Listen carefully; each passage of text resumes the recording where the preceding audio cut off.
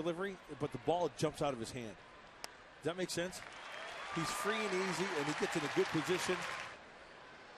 It's more of a loaded position there. Before they were closer. That a boy. Lines it into center field. There is the first San Diego base hit of the game. A one out third inning single for Tony Gwynn for a 34 pitch first for Correa. And there's a liner fair into the right field corner. Gwynn off to the races, picked up on the track by Upton, and he'll hold him to a double, but it's a leadoff double for Tony Gwynn. On base for a third time tonight, his second hit. And he walks Gwynn.